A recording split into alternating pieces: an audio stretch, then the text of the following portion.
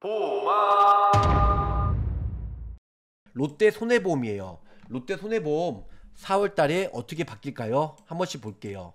자, 4월에는 롯데가 디데이예요. 신규 담보가 나오는데요. 참조 순 보험- 보험료로 해서 일단 보험료가 그렇게 많이 인상이 안 된다.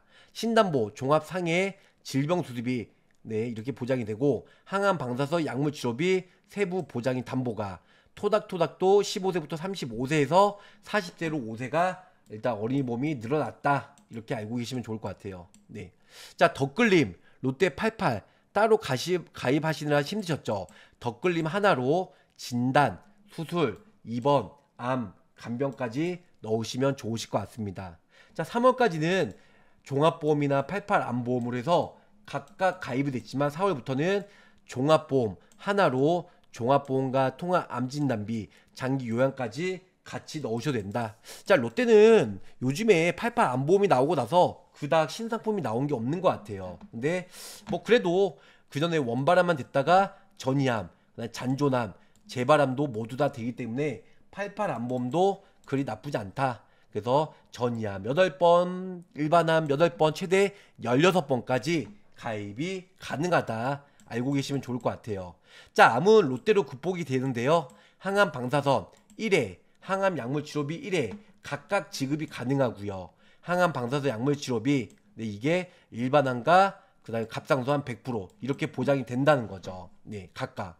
자, 우리가 특히 동양생명이란 신한생명은 항암 방사선 약물 치료비가 4천만 원까지 가입이 되는데 항암 방사선이든 약물 치료든 각각 보장이 되죠. 하지만 훈국생명이나 이런 데는 항암 방사선 약물 치료비 방사선이나 약물 둘 중에 하나만 하면 5천만 원 나고 땡 없어진다는 거죠. 근데 여기서는 각각 보장을 받을 수가 있기 때문에 역시 어, 큰 메리트가 있다. 이렇게 알고 계시면 좋을 것 같고요.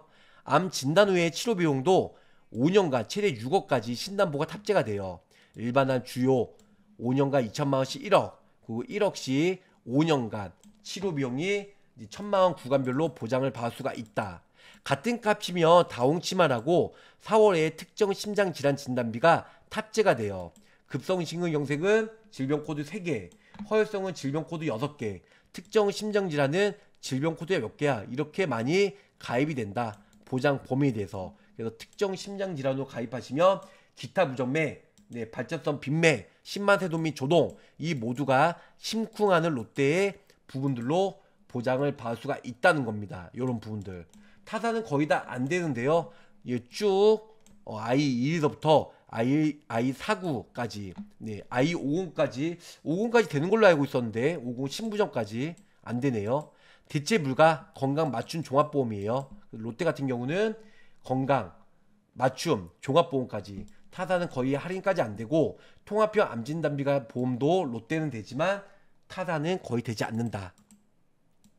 내열과 헐선 진단비도 납입 면제가 가능하다. 할인해 주면서 5년간 암치료비도 롯데는 가능하다. 타사는 거의 다 안 되지만 진단비, 수수비 가입 첫날부터 100% 롯데도 가능하지만 타사는 거의 안 된다는 겁니다. 자, MG보험 대전이에요. 롯데 건강맞춤과 롯데 토닥토닥 요렇게 일단은 구별이 질수 있는데요. 할인을 원한다면 건강 맞춤으로 더 높은 가입 금액으로 어린이처럼 원한다면 일단은 어린이 보험으로 하시면 좋으실 것 같아요. 자, 가입 연령은 15세부터 40세, 납입 면제는 뇌혈관, 허혈성, 상해 질병 50%. 예전에 어린이 보험과 똑같죠? 거기다가 암진 단비는 최대 8번까지 부위별로 전이암과 원바람 모두 다 되고요.